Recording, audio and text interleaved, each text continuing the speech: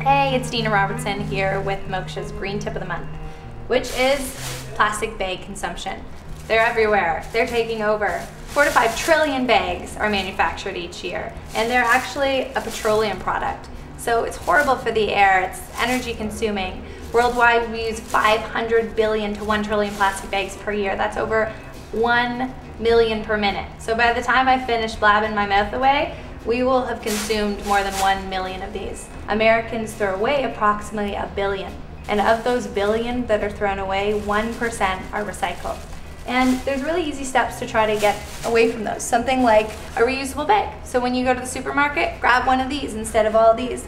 And it saves you so much space at your house. Also something so simple like this little mini Chico bag. And these help with single bag use. It's tiny, it can hook on the little mini carabiner, which is so precious. And it opens up and it's a bag.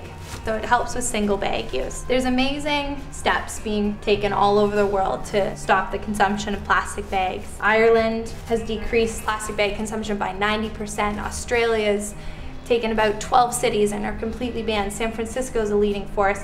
So we want to start with us, the Moksha community, and all you amazing students out there to make a stand and say no to plastic bags and yes to a healthier environment.